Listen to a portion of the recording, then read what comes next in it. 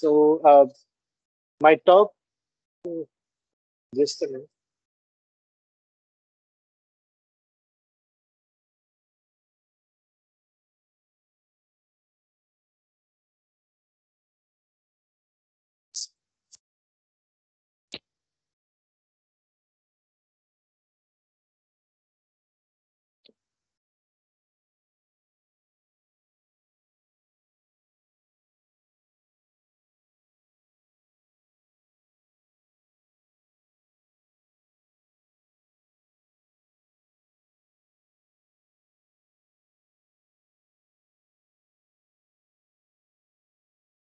This is mainly for the motivation and uh, my background is in both mathematics and computer science. So uh, I'm here representing both the domains of computer science and mathematics. Uh, I did my PhD under the super supervision of Dr. Fakir Bhatti in the area of uh, graph algorithms. So uh, my PhD work also consisted of both parts, the theoretical part as well as the algorithmic or the computer science part. So uh, if we talk about the computer science students, uh, they are not that much comfortable with mathematical concepts as the mathematics students are. And uh, some mathematics students are not comfortable with programming or computer science stuff. So uh, machine learning or uh, artificial intelligence or data science, these are the keywords here. And uh, my talk is to motivate all the mathematicians here that the basics of machine learning lies not in computer science, but in mathematics. So I'll be discussing a few uh, topics re related to history, some key concepts that was developed in 1905, 1906 by mathematicians. And those concepts are still in 2024 being used in machine learning concepts, machine learning algorithms. Right? And in some cases, they are the fundamental blocks. Right? So uh, I'll uh, give you a brief a walkthrough of the key components that we have in machine learning. Right? So the first part is the data collection. Right? I'll go through each one of these uh, in the upcoming slides. Uh, so the first part, whenever we want to do something related to data, we need data. And there are different methods to collect data. Uh, we'll discuss that. Then uh, we need to pre-process the data just to make sure that which of those data are correct, how much of those data can be used, and in, in which uh, capacity can we use them. Then uh, there are many uh, machine learning algorithms right? Neural networks is one of the famous ones. Um, uh, there are some graph-based algorithms as well. For example, random forest. Uh, so we'll discuss a few, uh, just the names of some of them. When we choose the model, we need to train the model. When we have lots of data, we do some sort of training so that we can use them. But whether we have done the training right, whether we can use the model to predict something or evaluate something.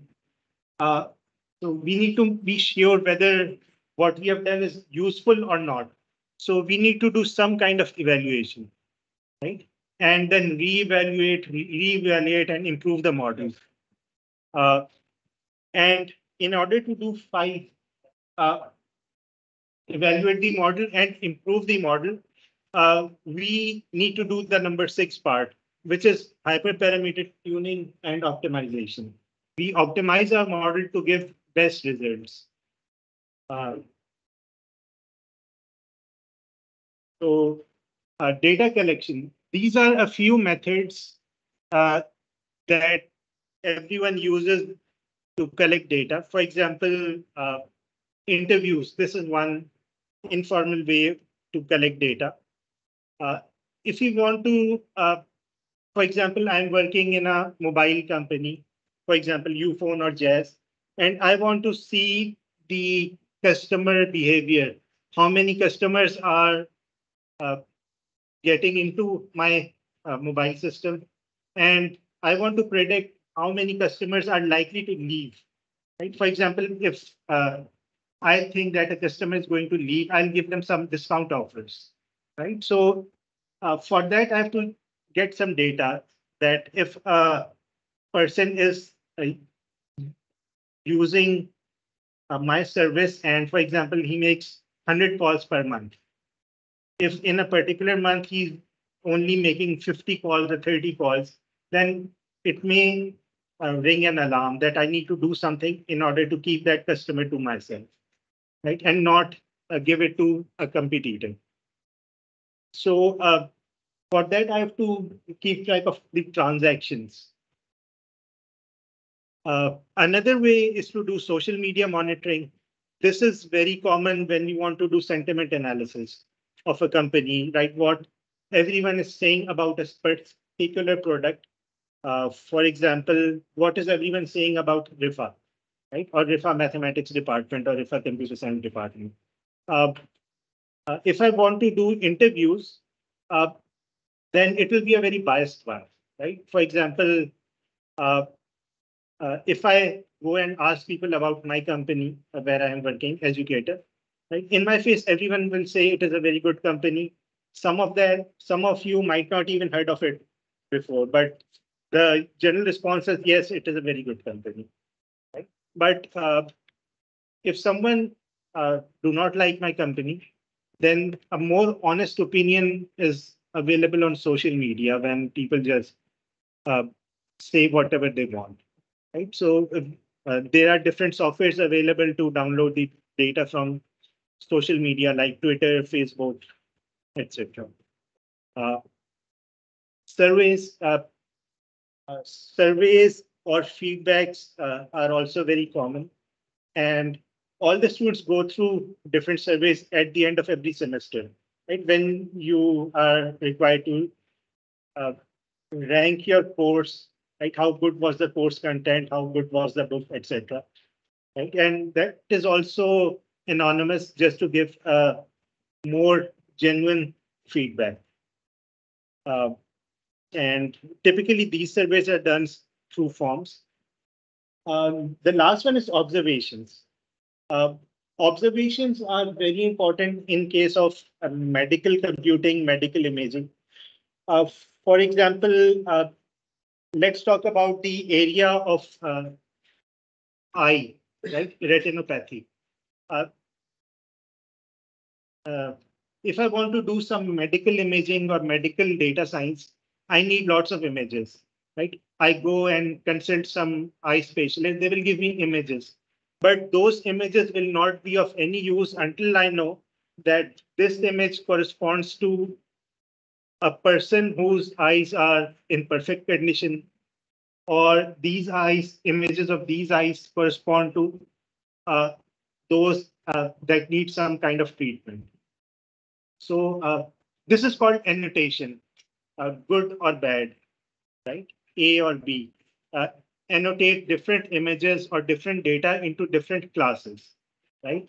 Just to get an idea what is good, what is bad. Uh, so that when we do some evaluation or do some prediction on those images, we can relate uh, whether this person needs a treatment or not. Right. So just data uh, or just the images in this case is not meaningful unless we have some important related concepts. Okay, uh, if I get data, I need to do some pre-processing, right? The first part is cleaning. Cleaning involves uh, just going through the data and checking whether there are some incorrect information or not. Right? For example, uh, if you have patient record, then due to sensitivity of the topic, the patient names are always deleted. Uh, we will have patient one, patient two, patient three, and so on. Uh, and no one can trace back who the patient one was, who the patient two was, which is fine. Uh, next come then, uh, there'll be some other patient-related data, for example, age, right? Uh, age of 40, 45 is fine, right? But if someone is typing age of 450, then that zero is probably some typing error, So we need to fix those. Or if we cannot fix those, we might need to delete those entries from the data uh, that may give us some incorrect information. Uh, again, there will be some missing data that we need to find and uh, write down those data. Okay, then the pre-processing also includes a concept that's called dimensionality reduction. Uh, suppose we have a two-dimensional data, right? Just the x-axis and the y-axis. Uh, x-axis, the number at the x-axis represents the input, and the number at the y-axis represents the output. And uh, if we have just two-dimensional data, uh, we can do a regression analysis and we can draw a regression line. And for every input, we can predict the uh, output, right? assuming the data was linear. Uh, but it is uh, uh, computationally, it is not a very simple technique. Suppose we have a data which is not two dimensional, but 20 dimensional. It will need more computational power.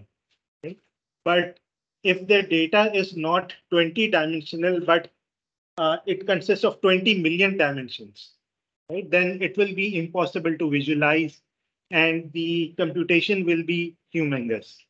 So there must be some technique to improve the efficiency. Efficiency means the time we need to uh, develop our model. So we need to reduce the dimensions. If somehow we can half the dimensions or uh, from 20 million, if we can reduce it to 20,000, then uh, without losing much information. Uh, for example, if we remove the column corresponding to age, right? Uh, is it is that data important or not? Maybe it is giving us some important information. So we cannot randomly delete information. We need to figure out which column are more relevant and they need to be kept and which are uh, not relevant. For example, uh, address, right?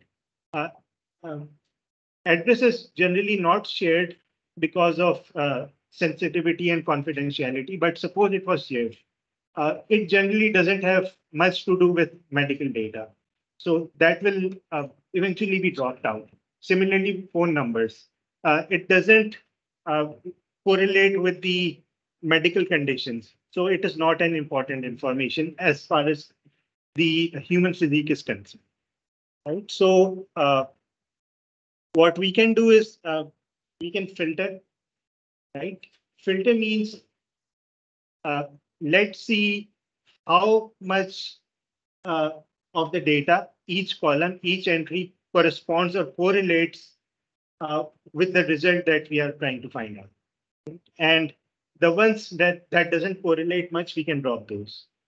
Uh, similarly, the wrapper wrapper what wrapper function does is uh, it trains the model, uh, then removes some of the columns and see what is the result. If it is giving us a positive results, we are better off leaving those. If not, then we'll put it back and drop some others, right? So this is a very time consuming effort. Uh, a better way is feature extraction. What, what feature extraction does is it doesn't say that we have these 100 variables and we need to delete 50 of those. Maybe we can combine some of those and make new features, right? So uh, this is the concept of principal component analysis, and we'll talk about this particular one uh, in a bit more detail. Uh, there are a few other well-known concepts like linear discriminant analysis and T-distributed stochastic neighbor embedding, TSNE. These three are key features, key algorithms that are used in feature extraction, right? How can we combine the existing features into new features such that the total number of features are also reduced? And all three of them are math mathematically intensive, right? The mathematics concepts in each one of them is huge. Uh, you can guess this is more mathematics than computer science just by looking at, at the names, right? Linear discriminant analysis, right? this it seems that it has to do something with a linear function. Uh, and uh, you all know T distribution, right? You must have heard it studied in uh, probability and statistics, right? And stochastic systems, stochastics, uh, these are all terms used in mathematics. Okay? Uh, but I, I would like to talk a bit more about principal component analysis. But before I talk about principal component analysis, let's take a few minutes to uh, talk about Karl Pearson. Uh, how many of you had have heard this name before? Okay. Uh. Karl Pearson was the person who introduced the Pearson distribution.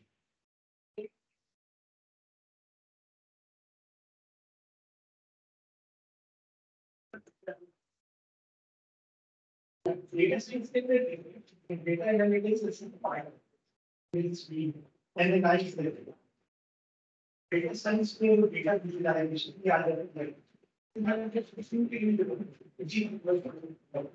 so um,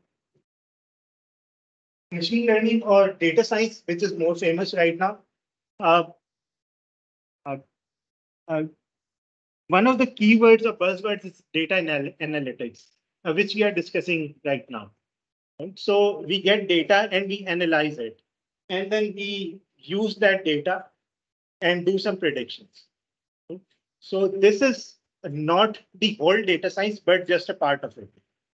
Another important concept is data visualization, right? So we get the data, how can we visualize it? Or how can we visualize the results uh, in a meaningful way? Suppose we have 50 columns. Uh, usually we talk about two-dimensional data, right? So, or histograms or pie charts. So how can we uh, visualize important data in a meaningful way? right? This is mostly used in business because uh, whenever someone is giving a presentation to a CEO or someone who wants to invest in a company, they want to look at data. But uh, in a meeting, the time is short and we cannot look at all the data, especially if there are millions and millions of records.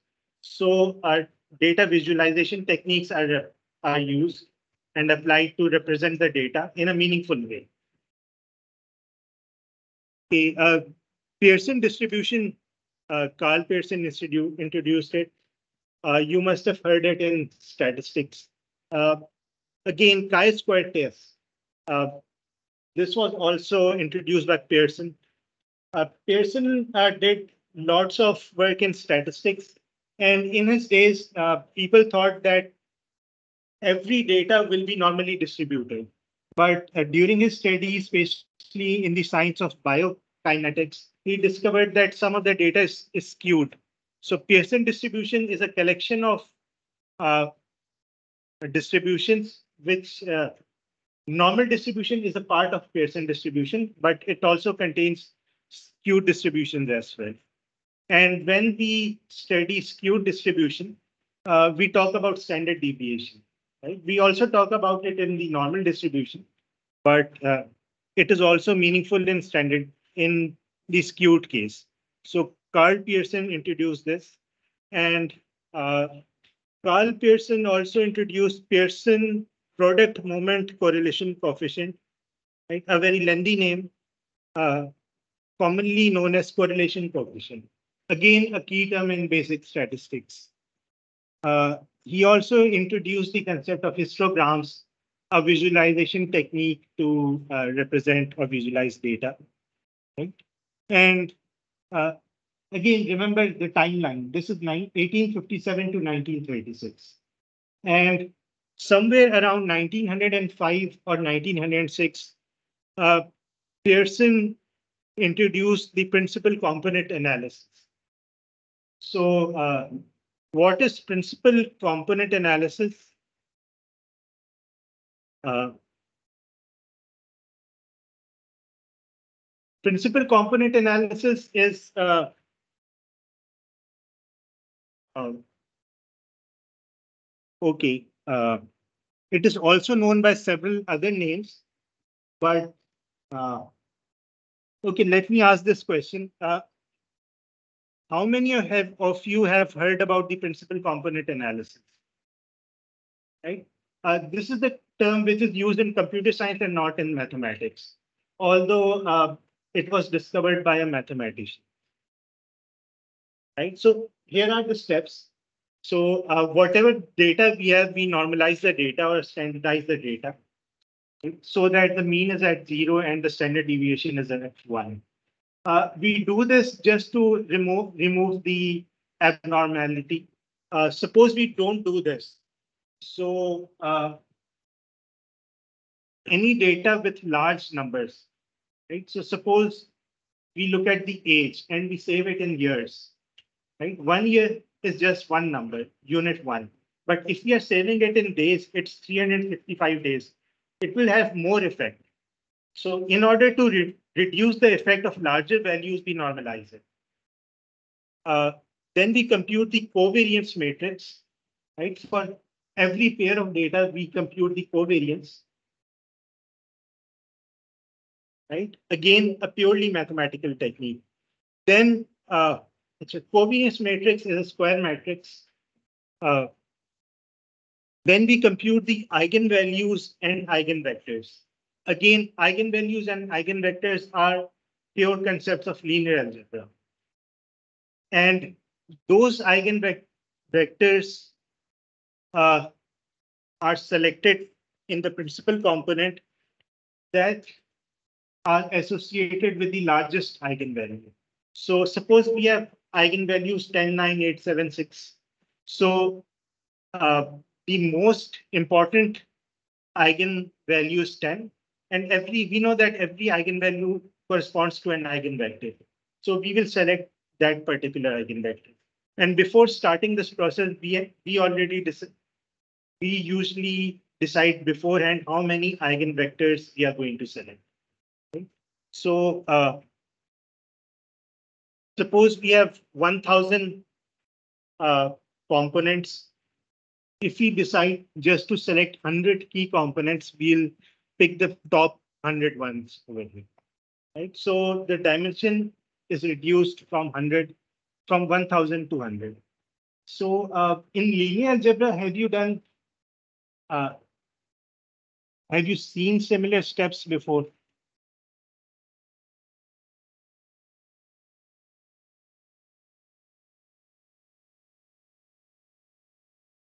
Okay, there's a small homework. There is a, there are two particular names uh, which you might have heard in linear algebra right? And it is related to the eigenvalues, right? One of them is related to. So just when you whenever you go back, just search what those keywords are. It will refresh your memory, right? And it, it will also refresh your memory that uh, what someone discovered around 125 years earlier, it is still being used in mathematics as well as in computer science, right? So uh, we all know computer science is evolving very quickly, but this is still being used. Right? And uh, now you know the reason why, just to remove, reduce the dimensions. Uh, okay, here are some of the models that are used. Uh, naive Bayes support vector machines, k nearest neighbors. Uh, let me give you a quick example of k nearest neighbors. Suppose I have data in two dimensions uh, and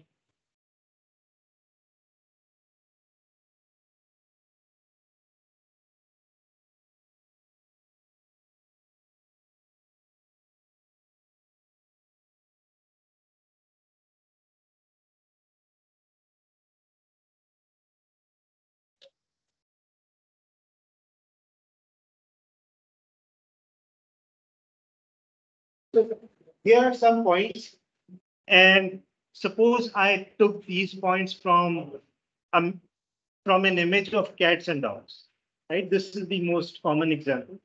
And suppose blue is for cats.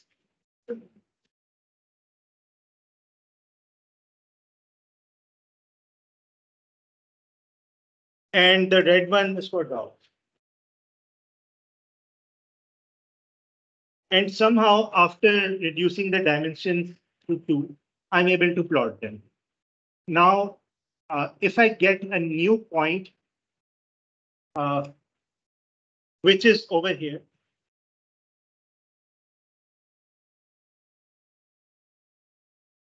Now the question is this new point, uh, is it a cat or a dog?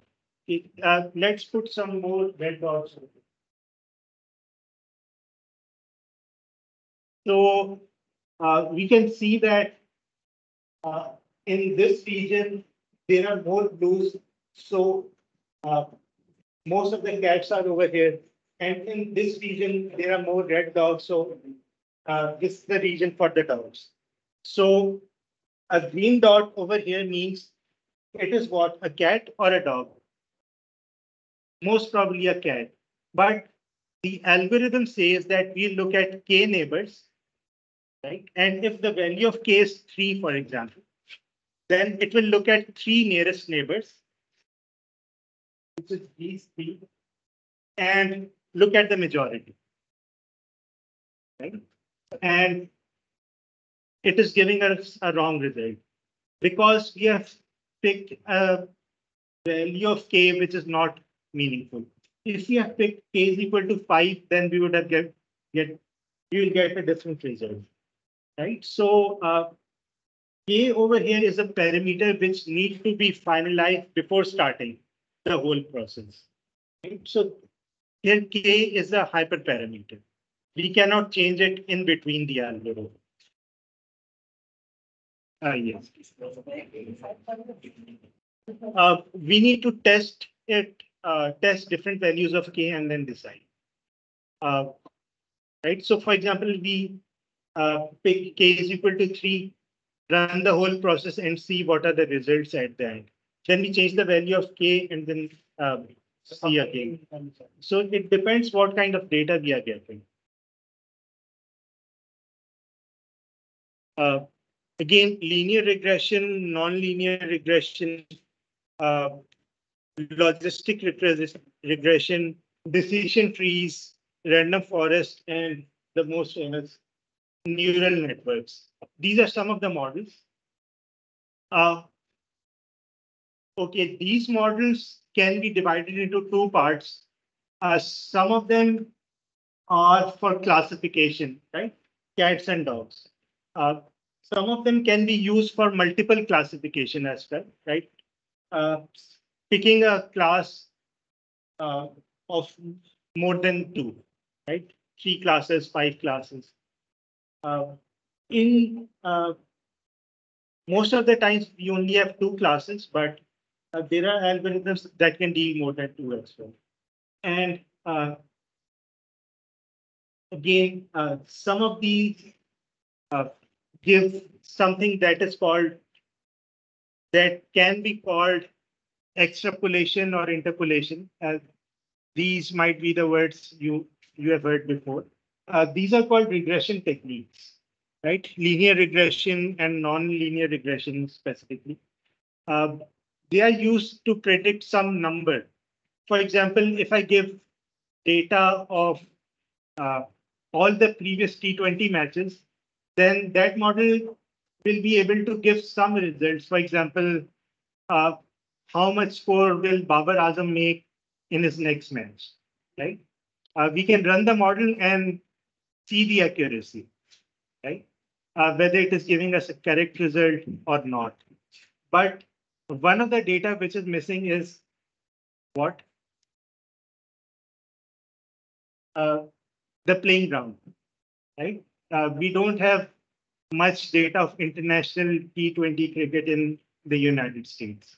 And uh, all those who are interested in cricket knows that the pitch conditions in Australia are fast.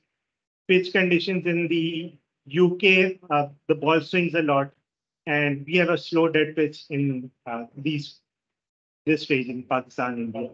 But we don't have much data uh, from the US. So still it will give some number because that's what it is made to do, give an output. Uh, uh, maybe you can do uh, run the algorithm and see the results. Okay, so uh, after we have picked the correct model, depending upon we want to do regression or classification, we feed the data to our model and we do the training. The model is trained, which means that the machine learning algorithm learns whatever it needs to learn. And then we evaluate the model. Suppose I have uh, 100 data points or 100 entries, and I do my training on all those 100 data points. Now I need to test it. For testing, either I can create more data uh, or use some of the previous ones that I have used for training, uh, which is not a good idea because those numbers my algorithm has already seen and it can predict the output just by remembering those numbers. So we need to divide the data into parts. A part for training, a part for evaluating. And if my evaluation results are bad, for example, if I'm getting an accuracy of only 50%, uh, it is as good as a coin toss, right? So if I'm getting a 50% over here, I can as well toss a coin and say if it is head, it's a cat, and if it's a tail, it's a dog, right? 50% means that. So in order to improve that, I need to uh, do some hyperparameter tuning, right? Uh, in K, KNN algorithm, K nearest neighbors algorithm, the K is a hyperparameter. Uh, here are some more hyperparameters. For example, the learning rate. Uh, if the learning rate is fast, for example, in uh, the gradient descent in which the algorithm moves towards the optimal solution, uh, if it is moving at a faster rate, it can overshoot right? Uh, so that learning rate has to be controlled. Epochs is the number of cycles. Uh, in neural networks, uh, there are hidden layers, how many layers of learning. And then we have nodes, uh, K we have already talked about. In decision trees, uh, we have branches, right? And uh, how many data we need to keep for training and how much data we need to keep for testing, right? So um, over here, we talked about that we will keep some data for training uh, and the rest for testing. How much we will talk about it later. So uh, these are the hyperparameters that we can, or the algorithm will uh, fine tune itself after every cycle, right? Epoch is a cycle. And uh, after every epoch, um, for example, if we are running our algorithms for 10 epochs or 10 iterations, it will uh, fine tune the hyperparameters 10 times. Uh, okay, so uh, for evaluation, um, I train my data and test my data. Then I again train my data and then test my data. So whenever I test my data, I'm feeding some data points to the algorithm. And my algorithm might learn something from it. So if it is learning something from it, uh, those data points cannot be used for further validation or further testing. So generally, the idea is to split the data into three parts.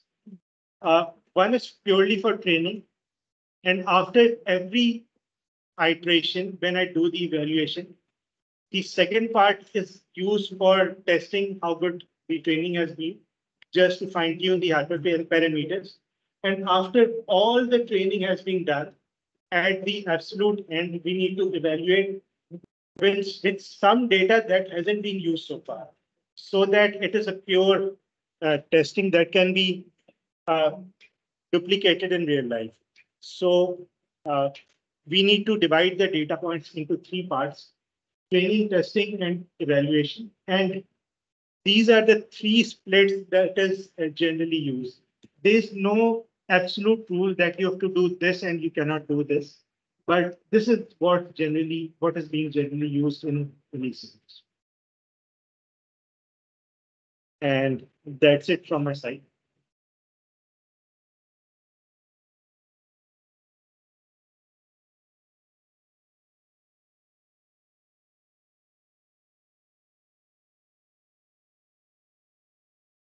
Tune कर रहे होते हम नहीं वो algorithm खुद ही करते हैं।